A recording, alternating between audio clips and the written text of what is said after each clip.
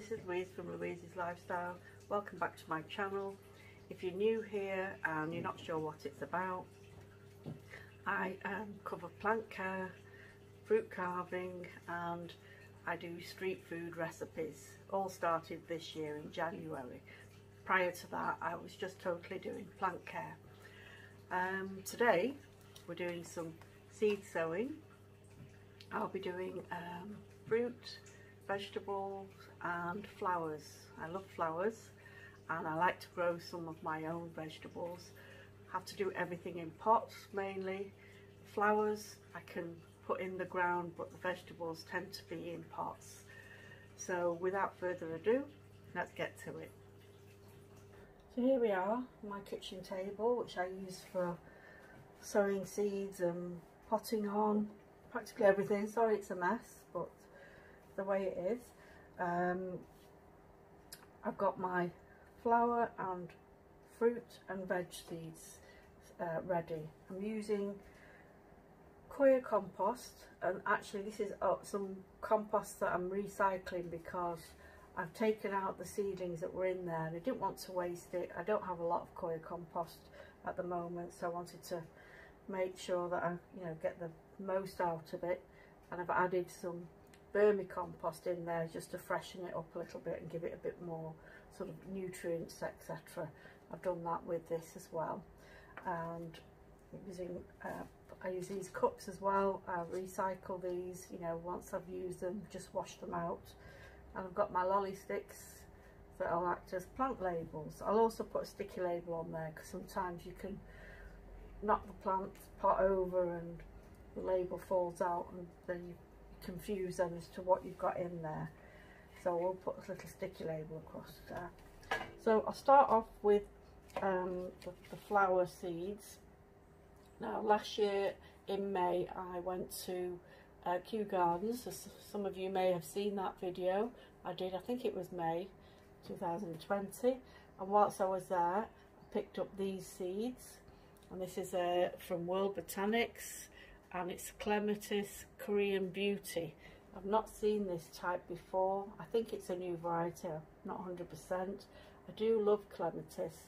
Um, and if I see an unusual variety in the garden centre, you know, I have to buy it. I mean, I've got three varieties at the moment.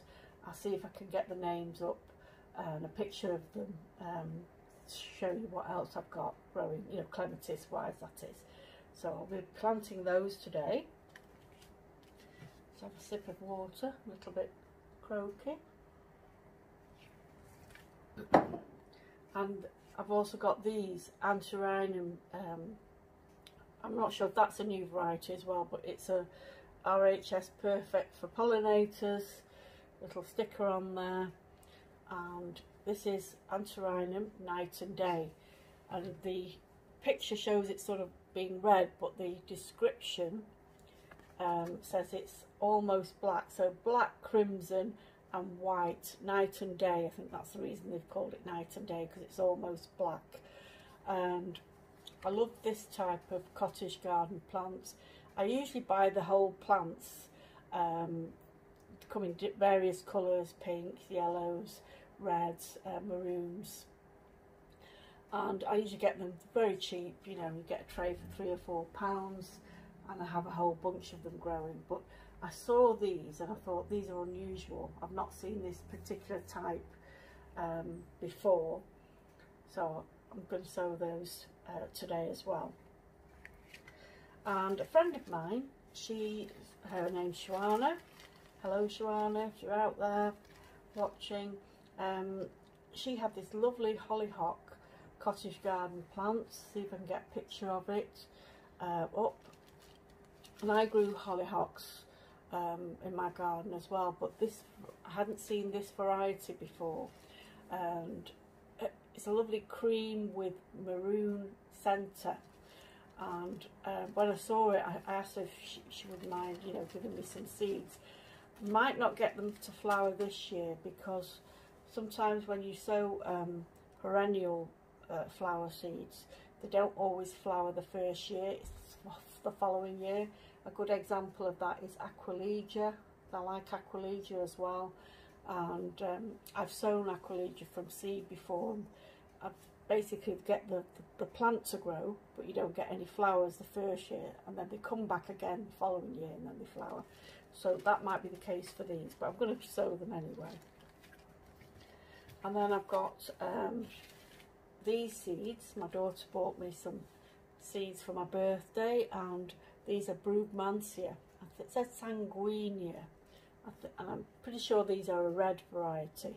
Now I already grow Brugmansia, I've got the yellow variety, there, or Brugmansia is also known as Angel's Trumpet. I'll see if I can get a picture up and I see what I'm talking about. Uh, so this is a red variety. I'm hoping that they germinate and I get, you know, lovely flowers this summer. So they're, they're the flowers. So I'm going to pop them to one side and I'll talk you through the, the veg seed that I'm going to be growing. So um, last year, very cheaply, I, I, got these from Aldi's and um, you get sort of a multi-pack of uh, seeds.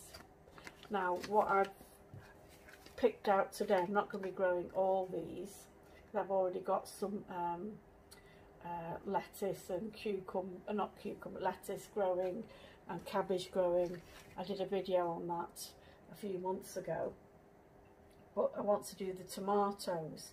So the type of tomatoes that I'm growing today are these plum, plum tomatoes. That's not a plum, there we go. Tomato, plum. See the little seeds in there. So it's that variety. And then I've got tomato, uh, money maker. So money maker is this one. So that's money maker. So I'm growing these two varieties. So they, I'll just see if I can put them side by side. So that and that. Those, those two varieties. And I've also got some pepper seeds. And that's what they are. There's not many pepper seeds. However, in here I harvested a load of pepper seeds the other day. I had some chopping up peppers and there were tons of seeds in there, um, yellow and green. So I harvested those seeds. So I'm going to use those as well. So I'm going to have them in this pot. So I'm going to, I'm going to have my sweet pepper there, plum tomato there and uh, the Moneymaker variety there what else are we planting? Ah, so I've got these. Now these seeds are melon seeds. And I did a fruit carving recently and um, you may have seen it if you if you like watching fruit carving videos have a look at that and it's sort of the the netted grey sort of um, covering on the outside the skin I think it's called a muskmelon. So it has a, a rough skin, not very big melon. I have grown that variety before. Um, I, I got the plant from a nursery and I thought, well, why not try and have a go at growing it from seed, you know, instead of throwing the seeds in the bin, um, have a go, plant these. So I'm going to put them in this tub here, slightly deeper than the others, and let's see if they pop up. And what else am I planting? So just put my flower seeds to one side. Got my veg there. I have got these okra seeds. So I may put a couple of those in. I've got hundreds as you can see, lots of okra seeds. I am waiting on some aubergine and that's what's missing from here. don't have any aubergine seeds left. I, I, well, tell a lie, I've got this variety, it's about four or five in there, but um, I have tried growing that before and they weren't great at germinating, so I don't know why I've hung on to them, but I, you know, I have. And also, I will be growing um, some sorghum. I'll just take this sorghum out. This is a type of sugar cane. sorghum sweet cane. You see, this is this variety is black, and its proper name. I originally got the seeds from the United States, and let me just see. Black amber sorghum.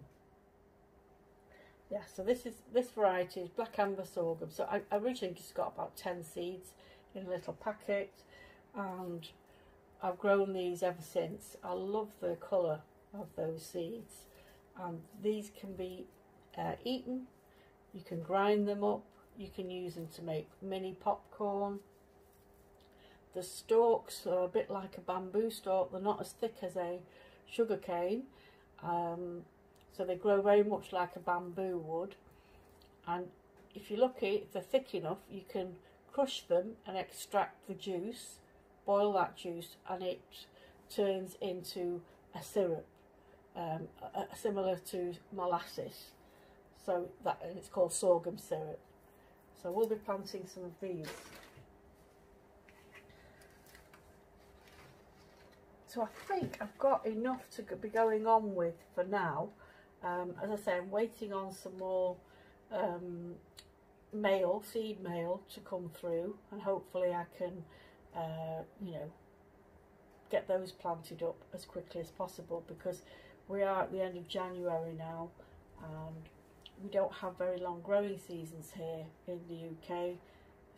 Pretty short summers and uh, we have very wet um, winters so we can't really keep our plants, unless you've got a greenhouse, you know, keep them going um, on it.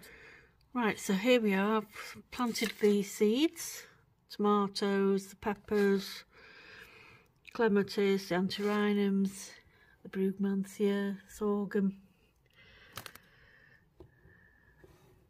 And they're all um, covered with cling film so that'll keep the moisture in because it can get a bit dry in the propagator.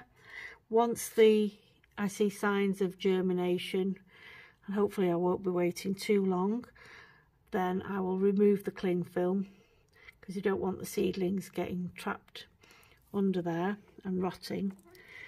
So hopefully that will happen soon. When it does I'll do another video update you all. Uh, I am um, waiting on some more seeds from Nikki's nursery. So if that coincides with um, these germinating, I'll probably do that video combined. So thanks for watching everyone. If you've got any questions about these plants or seed sowing process, um, put something in the comments below. Take care everyone. Bye bye.